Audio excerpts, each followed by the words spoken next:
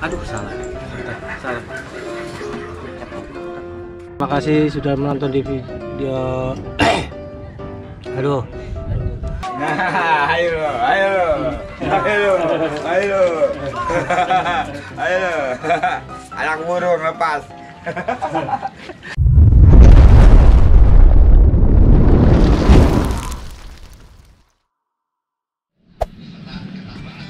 Oke guys, assalamualaikum warahmatullahi wabarakatuh. Berjumpa lagi dengan saya Akbari Damasra.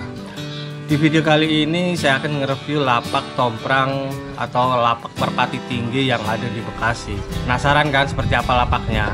Oh ya guys, di hari Minggu ini cuacanya nih lagi kurang mendukung. Eh, maksudnya ini lagi mendung, sudah seharian hujan. Nah, tapi tetap semangat guys buat kalian yang nonton setia di Akbari Damasra. Ikutin terus seperti apa nanti lapak merpati tingginya.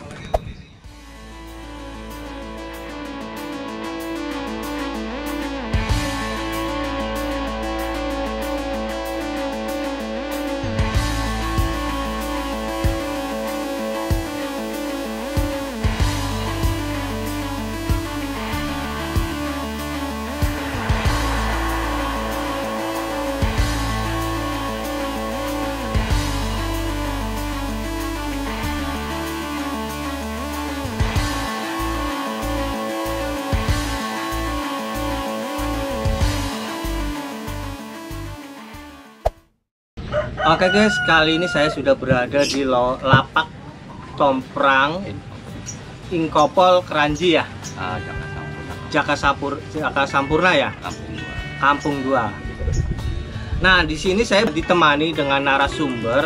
Jadi narasumber ini nanti yang akan eh, memberitahukan bahwa tentang semua lapak tomprang yang ada di sini. Selamat siang Bang Dedi. Selamat siang Pak. Gimana kabarnya nih? Baik Pak. Waduh, terima kasih nih Bang Didi udah bisa mengisi konten di Akbari Damasla nih. Oke Bang Dedi, eh, saya mau ada beberapa beberapa poin yang mau saya pertanyakan. Itu poin yang pertama, boleh perkenalan dulu sama Bang Dedi ini di sini posisi sebagai apa? Saya di sini selaku panitia mantan joki. Mantan joki. Sejarah Bapak nih, udah berapa lama bermain perpati di sini? Bermain merpati di sini sejak tahun 2012. Dua tahun 2000. 2012 pertama berdirinya. Oh, Berarti sejarah lapak tomprang di sini ya.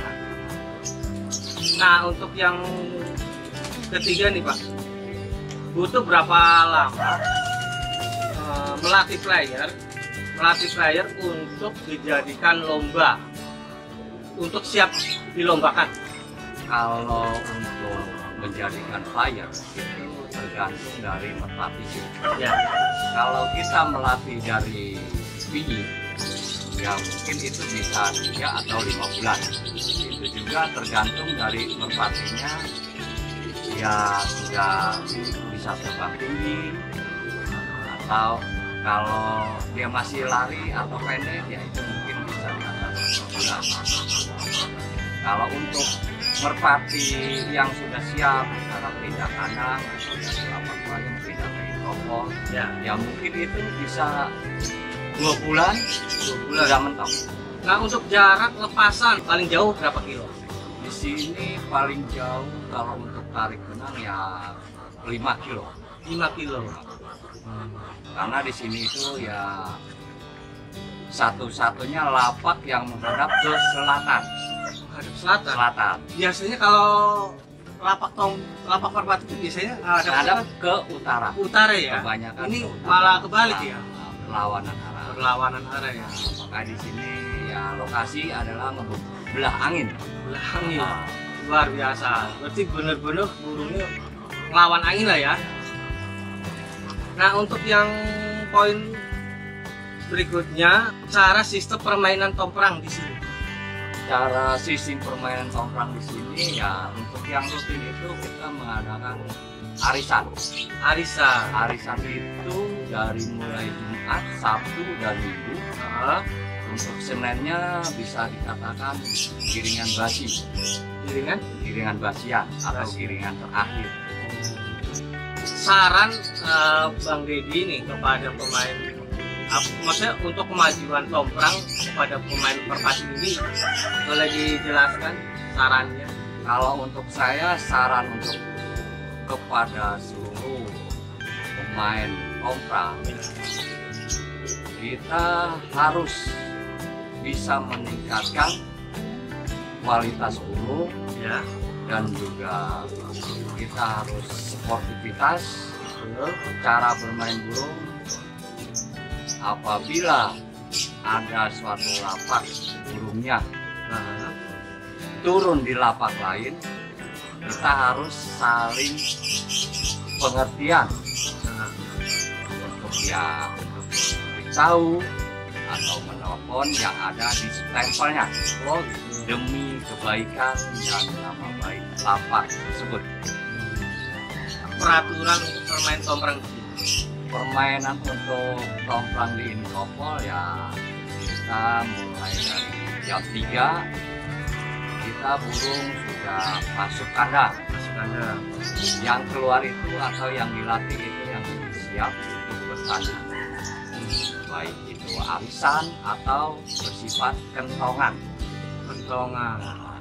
kentongan itu ya bertanding di luar dari arisan. Nah, sistem kentongan gimana sih maksudnya? sistem kentongan itu ya dari kandang A Nah, ada ketokan disaut oleh kandang B. Nah itu sifat namanya kentongan. Nah, untuk player andalan di sini, kalau untuk pelayaran andalan andalan di sini ya masih startup ya setara. ya kualitasnya bagus sekali ya kadang-kadang nanti dimain di kentongan di kalah juara turnamen di kentongan bisa kalah Oh gitu. Jadi enggak jadi kembali lagi gini pak tergantung kita melatih ah, betul. dan juga rawatan Perawatan. terutama rawatan Betul betul. betul. kita burung bagus kalau rawatannya lemah ya mungkin akan kalah Oh gitu. Iya. Nah untuk player yang event atau player 17 Agustus biasanya mengadakan lomba itu. Itu dari kandang warna apa? kalau untuk turnamen perang bintang pada 17 Agustus itu dipegang oleh kandang kuning Kandang kuning. juara satu dan juara dua Waduh luar biasa. di, dipegang oleh kandang kuning Ah, untuk 17 Agustus turnamennya ya disebut ya perang bintang perang bintang ya. Itu wajib ya, wajib wajib setiap 17 Agustus ya. dan juga ada pak Ya, ah, seperti di sini kan ada perang bintang dan ada perang kandang perang bintang dan perang Perang kandang. kandang. Maksudnya gimana? kalau untuk perang bintang kita burung yang betul-betul jontaro Jotaro. ah, itu disebut yang perang bintang Ah, kalau untuk perang kandang ya kita bisa juga burung yang perang bintang turun bisa juga yang lain kalau untuk perang kandangnya jadi nggak harus Nggak harus yang diandalkan melayarnya gitu ya. jontaro itu Iya. yang mana siap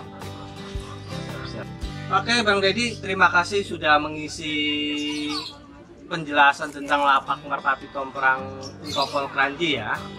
Nah, semoga di sini terus berjaya dan terus eh, menjadi permainan merpati tinggi yang enak dilihat oleh masyarakat. Terima kasih Bang Oke, waktunya. terima kasih maaf Pak.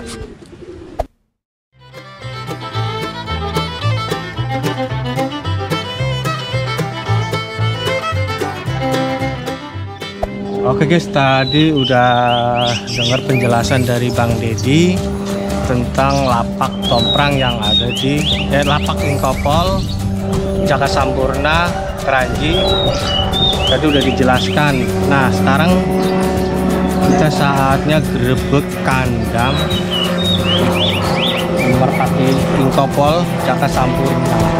Satu persatu nanti saya akan masuk, saya tanyakan tentang player yang ada di situ. Oke guys, saya akan mulai dari kandang biru merah dulu. nanti seterusnya akan saya review semua ikuti terus video Akbar Damas